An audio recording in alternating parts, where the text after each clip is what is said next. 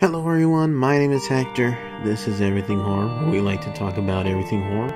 I hope you're all practicing your social distancing. I hope everyone is okay. Your families and friends are okay. I hope you all stay safe and uh, enjoy this time you have together while being quarantined. If you are quarantined, you know there's some people that are essential employees and uh, unfortunately can't take any time off, but uh, I want to thank you for everything that you do and uh, enjoy the video. Uh, so, we're going to be talking about The Outsider. The Outsider is a, a horror TV show, horror mystery TV show, uh, based on the novel from Stephen King. Uh, the main premise of the show is a hardened detective struggling with a case where a man virtually appears to be at two places at once. Now, the kicker is the man is accused of a horrible crime the murder of a child. The show has been airing on HBO for the past couple months and just finished up about a week ago while I'm recording this video. And I just wanted to give a non spoiler review and also uh, do some spoilers at the end of the video after that, after uh, the non spoiler part. But yeah, let's go ahead and get that started. Again, the premise of the show is about a man being at two places at once, accused of a horrible crime. Uh, this man that's accused is a, is a pretty known figure in the community of where this show takes place, and uh, he gets arrested publicly, accused of the murder. And um, as the show goes on, uh, more evidence appears to show that uh, he's at two places at once. Some people place him, eyewitnesses place him at the scene of the crime. Uh, no one actually saw him do it, but they place him at the scene of the crime. And some people place him 60 miles away at the same time, uh, where he's at a convention listening to a seminar.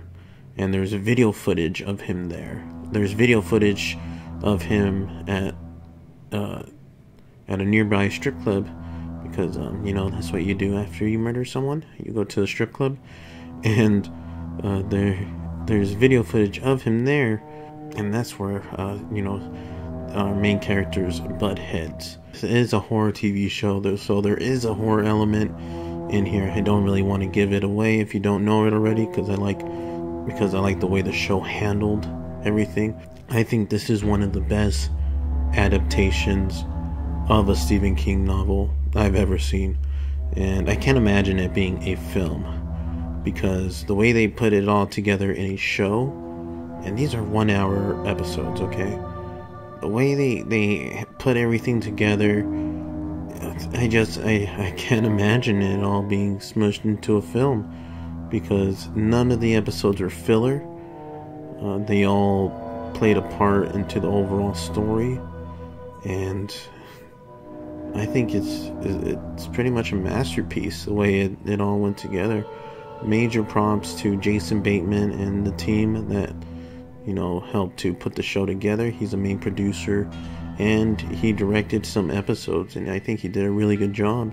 He did a really good job with his character as well.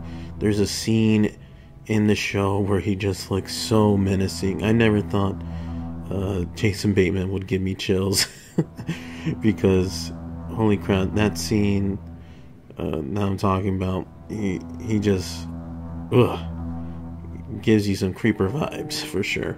The whole cast, the whole cast was great. Ben Mendelsohn as Ralph Anderson, he was exactly what I imagined Ralph to be, be from reading the book. Uh, Cynthia Erivo, who plays Holly Gibney, um, the character is different from the book um, they had to change some things because you know there is a show uh, Mr. Mercedes based on the Hodges, so they did have to change her character a bit. And I actually really like what they did with her. There's uh, Hettienne Park, who uh, does play a small character, but I love seeing her in the show. Uh, I loved Hannibal uh, back when it was airing, and it was nice to see her in here. And then, of course, Jason Bateman and the rest of the cast all great exactly how i imagine the characters. I like the whole psychological battle throughout the show. Um, trying to distinguish what's real, what's not, what is really going on, the suspension of belief that sometimes you have to go through in order to see everything as a whole. We have two characters that clash throughout the show. Uh, one is open to the supernatural, and the other is centered on fact and what is. And it brings a really great dynamic into the show. I love how much time you spend on each character. That's part of the reason why I can't imagine uh, it being a film now, but uh, each time you spend with the main characters, it's just so well paced. Um, sometimes I can see why people would think it's slow, but overall, in my opinion, I I really liked every minute of each episode. I liked how everything started off in the beginning, and then as the show went on, more of the supernatural element was implemented into the show, and I think it was wonderfully done. My only negative, really, for the show is I wish there was more. So yeah, my my rating for The Outsider is five coke nail scratches out of five. That's right. Uh, I think this is a masterpiece. Uh, I, I can't believe how much I absolutely loved the TV show. I think I actually loved the show even more than the actual book. I know, sacrilegious. Oh my god, kill me now. But I absolutely loved it, you guys. Um, but yeah, let's get into a little bit of spoilers. Um, let's get into some things that were different from the book. Um, the whole entire character of Holly Gibney. In the book, she is still recovering from the death of Bill Hodges uh, from the Hodges trilogy. Um, she is still working for the PI group Finders Keepers, and she is called by Alec to assist in the Terry Maitland case. Now, with Holly Gibney in the show, um, we find out that she's a wonder child. Um, she has uh, she she has a lot of knowledge about about some uh, random shit, and and she grew up wondering what was wrong with her. Why did she have all this information? It's always unexplainable to her, and that's why she's so more open to the unexplained. I have to say, the, the changes that they did for that character were perfection. They could have went in a horrible direction, but I think they tamed it more in reality. And then another change that really stuck out to me was uh, Claude, um, how more integral he was to the story and the character of his brother. I think the change where he is actually at the main boss fight um, at the end was very well done. At first, I didn't really know what to think of it, but um, seeing him face to face with himself, the shapeshifter, was very well done.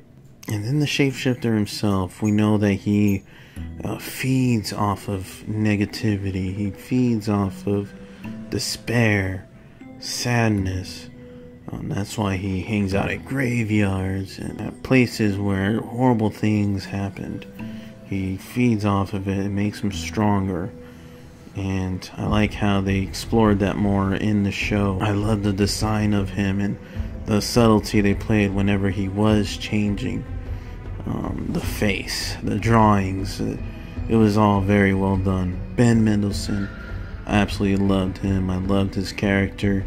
There were times where you just wanted to shake him, just shake Ralph. But the change that they did with um, their son actually being dead was, I think, a good choice uh, to kind of give you some sympathy for Ralph because there are parts in the show where where he is flawed, and I think they did a good job with keeping audiences sympathetic to his character. And as far as Frankie Peterson, I think they did it justice. They were tasteful in what they showed crime scene. I know a lot of people were wondering how they would be able to, you know, air that. Um, but they th- I think they did it perfectly. Uh, as I imagine, you know, with the subject matter, it's probably the best that they could have done. Yeah, overall, you guys, The Outsider is a top notch show. You should definitely check it out. It is worth your time, especially now since a lot of people are, you know, stuck in their homes. It's worth watching right now. This is probably the best opportunity you're going to have to check it out. Anyways, I hope you guys liked this video. I greatly appreciate it if you did like it, if you subscribed, if you're new to my channel. Definitely check out my other videos as well. I want to thank you all for for sticking in there. I know I hadn't posted in a while. I've been working on this video for a bit. I know it's, it's, crazy. Um, but with everything that's been going on, it's just a lot of things were coming up. So, but very glad I was able to get this out there. I hope everyone's doing well, and I hope you keep doing well. Anyways, take care. Thanks for watching. Goodbye, peeps.